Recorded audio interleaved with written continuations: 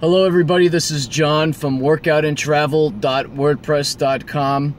And today I want to talk about the Olympics. I am a huge Olympics fan, especially the Summer Olympics. I watch it every four years. I'll watch almost every event. You know, I'm up all night, especially watching the swimming. I like the gymnastics. And I love track and field because I used to be a runner. So I follow track and field all year round. I watch the World Championships. I watch some of the Diamond League events. And when the Olympics comes around, I mean, it's just great because you see a ton of records being set. We just saw the women's 10K record being set yesterday, and she broke it. She broke the record by a good margin. I think it was over 15 seconds. So that that's that's pretty big. Um, tonight we have the 100 meters women's finals, and tomorrow we have the 100 meters men's finals with Usain Bolt. And if he wins this, that would be three consecutive Olympic 100 meter championships, which is insanity. I mean, that's that's being the fastest person in the world for 12 years in a row. Now, he didn't win the world championship 12 years in a row, but to win three Olympics in a row for sprinting is just insanity. And in my opinion, he's the best ever. There's no questions asked. He has the record in the 100 meters, he has the record in the 200 meters, and he, he could probably set the record in the 400 meters if he actually trained for it, but he's he's kind of said in interviews that he's not really interested in it. And if you're a runner, you know that the 400 is a lot different from the 100 and the 200. So I don't know if he's ever gonna go that route. He'll prob probably retire from what he's saying. He might do one more world championship, but um, I would definitely consider Bolt the greatest track runner of all time. Not long distance, obviously, but the greatest sprinter. Number two probably being Carl Lewis. Um, the other thing I wanted to talk about, and I know a lot of people are going to not like that I'm saying this, but I think the swimming has too many events. Now, I'm a horrible swimmer myself, but I do like watching it. And the thing with swimming is, and I know a lot of people are going to say it's the same thing as running, but it's not. So, let's say, for example, you are the fastest in the 100 meter breaststroke. If you have the record in the 100 meter breaststroke, you're probably also going to have the record in the 200 meter breaststroke. And the reason for that is it's not really much of a change between 100 meter swimming and 200 meter swimming. And that the point I'm trying to make is that when you're swimming, you're not necessarily going the fastest. A lot of it is technique. Um, you got to have the right body for it. You see, most of the guys are pretty tall. Michael Phelps is a tall, really skinny guy. I mean, his you take one look at his physique and you could tell the guy's a swimmer. He to me he looks like a fish has a very long upper body, very lean. Um, but I think there's just too many events. I mean, they're saying that he's won over 20 gold medals, and he has, but is he more accomplished than Usain Bolt that's going to win one event? You know, the 100 meters, you're the fastest sprinter. There's no questions asked. So is, is winning all these the different events, the, the freestyle, the backstroke at different meters, winning the the breaststroke at, at different meters. I, I don't know if it's the same as, as track and field. So, I, in my opinion, they should probably get rid of some of the events. Um, I mean, of course, you want the freestyle event, and you could do that for the 50, you could do that for the 100, you could do that for the 200.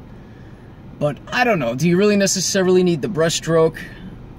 Um, I don't know. I mean, or the backstroke for that much. I mean, I don't want to sound, I'm not trying to be facetious here, but when do you need to swim backwards? I mean, you don't run backwards, you, you don't ride a unicycle instead of riding a, a regular bicycle. It just doesn't make sense. Like, why do you have a swimming event where you swim backwards?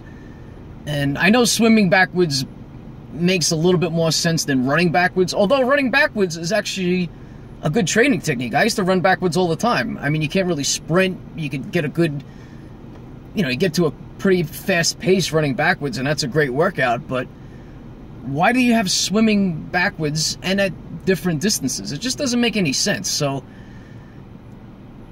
when you have these Olympic swimmers that have 15, 18, 20, 22 gold medals, you kind of have to accept it with a grain of salt because it's not the same as other events, so it's kind of apples and oranges. I not to take anything away from Michael Phelps. He's maybe the greatest Olympic athlete of all time. And anybody who wins in multiple Olympics in my mind is a great athlete, but I just don't know if you could just keep picking different events.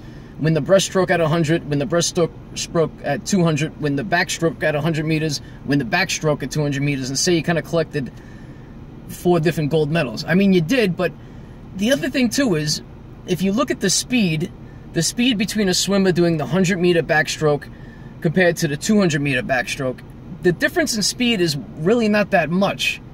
You know, you're just doing an extra couple laps in the pool. So it's a little bit different. And I wouldn't compare it to running, where Usain Bolt winning the 100 meters or winning the 200 meters is completely different from running the 800 meters or running the mile or running the 10K. And running the mile in the 10K is completely different from running the marathon. So running is completely different. Swimming is a little bit of similar strokes, in, in, in my opinion. Um, what else could we say about the Olympics? Well, I just love the track and field. And one disappointing part of track and field is that you get a lot of drug uh, test failures in the Olympics. And you could see why, because if you win the Olympics, that opens you up to a ton of opportunity. You're going to be on the, the box of Wheaties, you're going to get sponsorships. You know, there's a lot of money involved. So, unfortunately, when you see a record being broke in the Olympics for track and field, especially with women, they're quick to say that the athlete may or may not be on steroids, which it's a little bit annoying, but to be honest with you, if you look for the last 20, 30 years, there's been a lot of drug test failures in, in track and field. That's just the way it is. And even when that, that the woman set the record yesterday in the 10K, they're already saying that they think she's, you know, she's on steroids, which is kind of unfortunate. But that's also kind of the, the reason why I like watching the Olympics track and field so much is that you do see so many records. I, I mean, these athletes, they train specifically for this event. They're coming in in their best shape in their life and they're going all out compared to some of the other you know diamond league competitions where there might be a race or two where they're kind of coasting it and they'll they'll just go for the win or they'll try to come in the top three. In the olympics they're going for the gold. So you know they're giving it their best. And that's what makes it so exciting. So um, that's all i have for tonight. I can't wait to watch the 100 meter women's tonight. And i can't wait to see usain bolt tomorrow. That's going to be that's going to be great. So um, that's all i have for today. Thank you